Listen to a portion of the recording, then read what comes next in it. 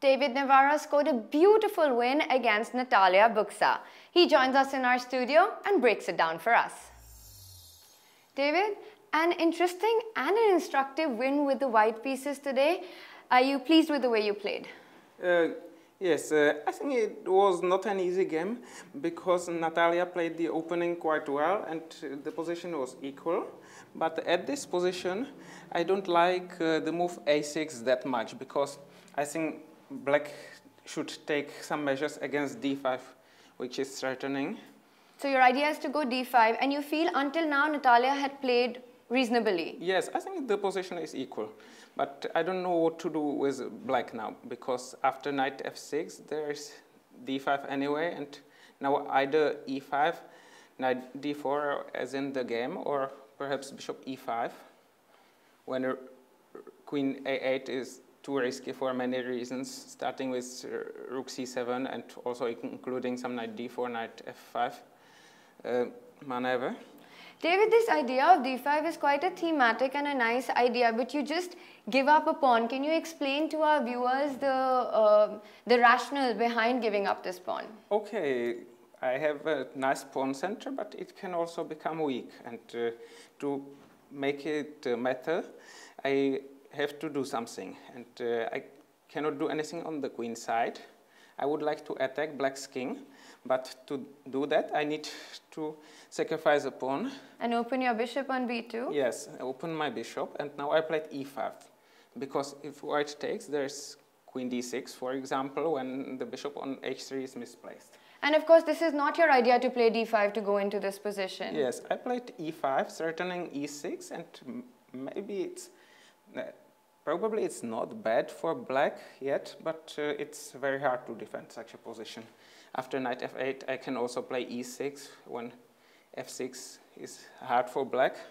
And after fe6, white is probably winning by force, playing knight e5. Let me help you. Yeah, thank you. Knight f7. I think it just gets stuck sometimes. And queen takes e6. Yes threatening a smothered mate, among other things. And uh, okay, knight c5 looks logical, but uh, maybe rook e8 was not the best move, but I don't know what to recommend here because it's really hard. I really like this move knight d4 because maybe black actually wants to give this pawn back with d4 to act activate the bishop on b7 and you just kill this bishop with this pawn sacrifice and then knight d4. Yes, maybe, but I'm also preparing e6, e6. Uh, as well as knight e5, f5, so it's a typical multi-purpose move. Yes. And now uh, rook, rook e8 is probably not optimal, but it's hard to suggest anything else. e6. Now if black takes like this, I can take with the bishop when there are King H8 and seven deadly chess pins, as Grandmaster Rowson would have uh, probably formulated it. I'm threatening Queen F7, Knight F5. seven so deadly chess pins. yes.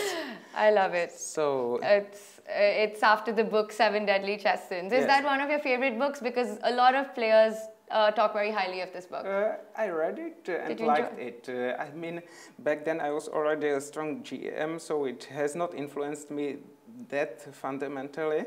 Uh, maybe also because I read it several times, uh, several, uh, not several times, several years after it had appeared. But uh, it's a quite a good move, uh, quite a good book. Sorry, I'm thinking about moves already. And now White has a decisive attack. Yes. Here. Bishop f5 after g6. I'm ready to take. So uh, if something like this, you just. Yes, and I have knight f5. In the end. Yes. And Yes. That's just one deadly pin, but it's more than yes. enough. Yes. And h6, queen g6. In fact, there were some nice lines in the end. Now I even considered playing for uh, playing for crowds like this, but luckily I avoided this temptation because it doesn't you. really work. Because here maybe even queen d6, queen f8 is not that bad, but uh, I dislike bishop c6 because if black just takes, there will be numerous threats, yes. including queen f8. But the problem is that if black plays bishop c6, uh, I don't know what to do now.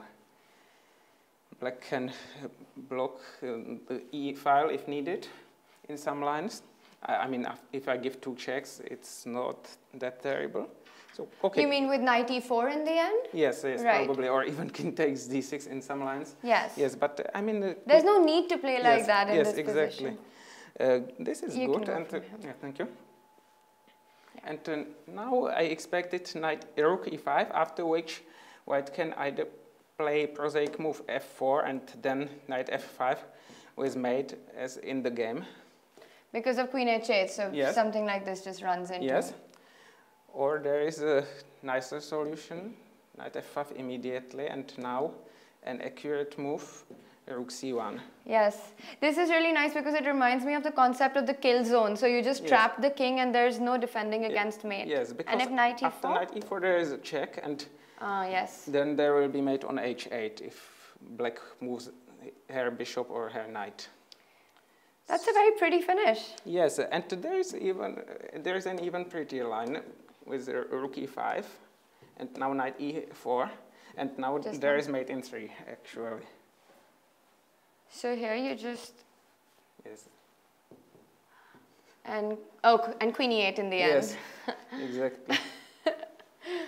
That is, that's absolutely stunning. And in the game also, rook e4, just knight f5 finishes the game because there's no defense against queen h8. Yes. Actually, Natalia has been having quite a good tournament so far. Did you see her games before? Uh, yes. Uh, I saw she bet uh, Noel Studer yes. in the previous round uh, in uh, uh Sveshnikov uh, variation. Uh, and okay, there are six rounds left, so she might improve her result after this loss. I mean, one loss doesn't matter that much in a long tournament. Yes, and but you are now on three out of four. Mm -hmm. Feeling good after today's game? Yes. All right, well, we wish you all the best. Thank you for joining Thank us. You. Thank you for your time, David. Thank you for your attention. Uh, see you later. Thank you. See you, David.